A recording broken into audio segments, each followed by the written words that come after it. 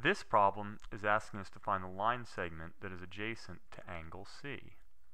So angle C is right here. There's my angle for angle C. And you'll see, I'll put them in blue here, I actually have two lines that are adjacent to angle C. This one and this one. However, this one, which I'll put in red, is the hypotenuse, which therefore leaves this one, which I'll put in green, as what we call the adjacent of angle C. So the answer is line segment AC is adjacent to angle C.